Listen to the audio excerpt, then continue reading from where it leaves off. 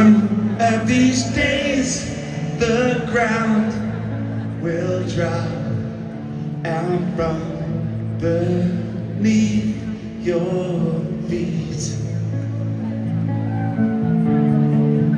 One of these days, your heart will stop and play its final beat.